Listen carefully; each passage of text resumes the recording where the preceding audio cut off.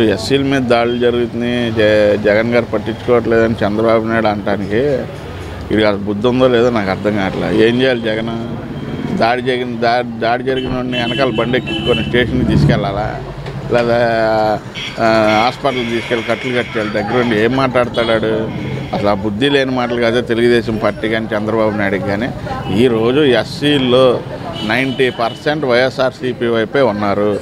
ఓ five percent seven percent ఏదన్నా ఉన్నా కానీ తెలుగుదేశం పార్టీకి ఫేవర్గా ఉన్న వాళ్ళని వాళ్ళు పాములుగా వాడుకుంటా వాళ్ళు వీళ్ళని ఎస్ కొంత అభిమానం ఉన్న సెవెన్ పర్సెంట్ ఫైవ్ పర్సెంట్ వాళ్ళని వీళ్ళు పావులుగా వాడుకొని వీళ్ళని అబ్బాస్ పాలు చేస్తా వీళ్ళని ముందు దోసి కావాలనేదో ప్రభుత్వం మీదో లేకపోతే ఇటువంటి కార్యకలాపాలకు లేకపోతే దాడులకు పాల్పడేలాగా చేయటం ఇవన్నీ ఏంటంటే దరిద్రపు రాజకీయాలు అంటారు ఈ ముండ రాజకీయాలు చేయటం అంటారు ఒక రకంగా చెప్పాలంటే.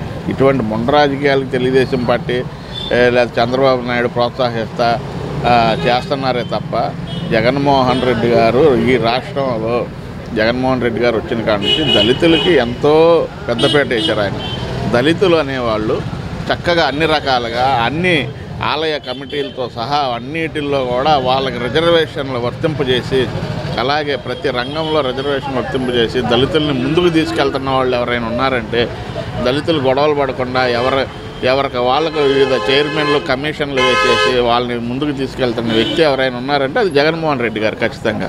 అంతేగాని దళితులకి జగన్మోహన్ రెడ్డి గారు ఈరోజు దేవుడైపోయాడు.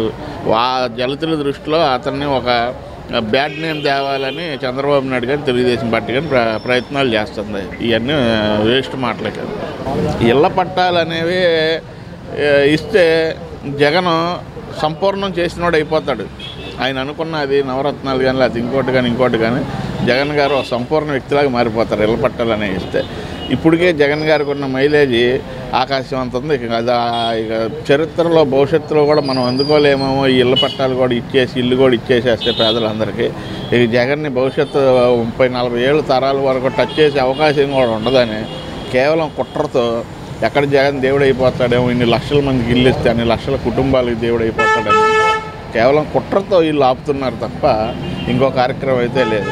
అది ఎన్నాళ్ళలో ఆగదు. జగన్మోహన్ రెడ్డి గారు వాటిని కూడా అన్నిటిని జయించి ముందుకు తీసుకెళ్ళి ప్రతి పేదవాడికి ఇల్లు అయితే ఖచ్చితంగా అందజేసేస్తాడు. దీంట్లో ఎటువంటి అనుమానం లేదు. ఈరోజు రాష్ట్రంలో మనకి ఇంగ్లీష్ మీడియం అనేది చాలా అవసరం. ఎందుకంటున్నా అంటే మన మాతృభాష తెలుగు అయినా సరే ఇప్పుడు జీవన జీవన భాష అనే జీవన భాషగా మారిపోయింది ఇంగ్లీష్. ఇంగ్లీష్ వస్తేనే వాడు బతికే పరిస్థితిలో ఉన్నాడు.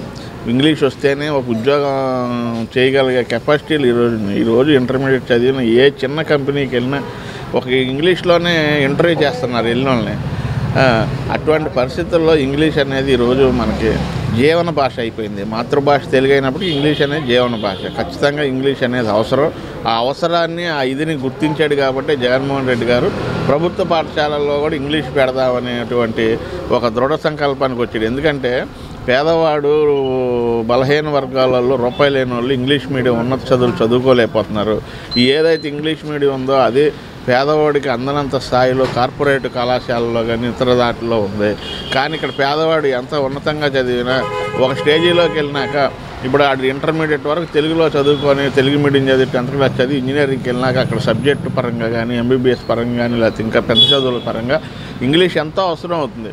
అటువంటి సమయంలో ఇక్కడ ఉన్నత మార్కులు సంపాదించి బాగా చదివినాడు కూడా అక్కడ అక్కడికి వెళ్ళినాక బలహీన పడిపోతున్నాడు చదువులో విద్యలైతే.